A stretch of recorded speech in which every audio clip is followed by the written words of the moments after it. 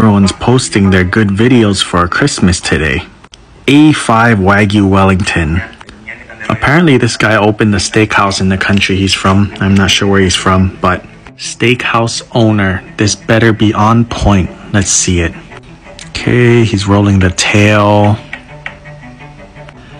Milk chopping by hand. His chops are really rough. Eh, he minced the red onion. Duxelle's not evenly chopped. Also, you start with the mushrooms, not the onion or shallot. His egg had a sticker on it. Bowl is way too small. Uh, making crepes. Improper use of oil.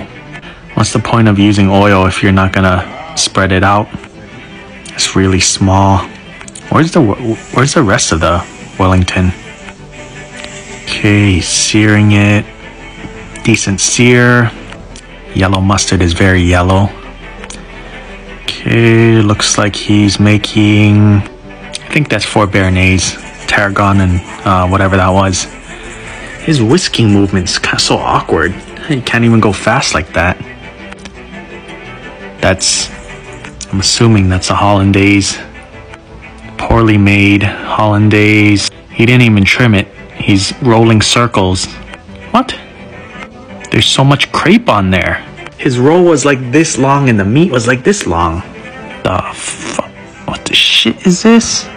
If you don't have a lattice cutter, don't use a don't attempt the lattice. Look at that. It's so uneven. Top is brown, sides are white. Let's see it. This is not a Christmas miracle. This is a joke. Sorry, not sorry I had to be mean on Christmas. Actually, he should be sorry to me. He ruined my Christmas by cooking that. 嗯